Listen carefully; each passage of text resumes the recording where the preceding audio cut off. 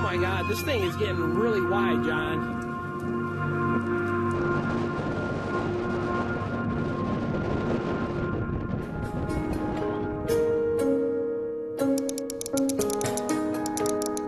I'm online at home, near London, yet working on the relief effort in the Philippines, thousands of miles away.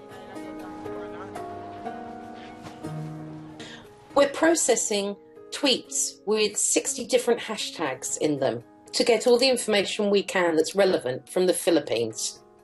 We go through various processes of filtration, including micro mapping techniques using the clickers.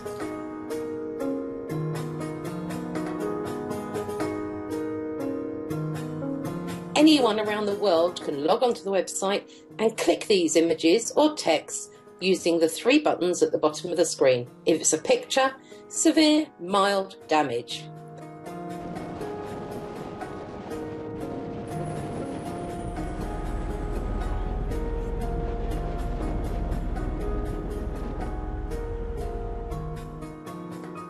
It then gets fed to a map, so people on the ground in the Philippines can respond.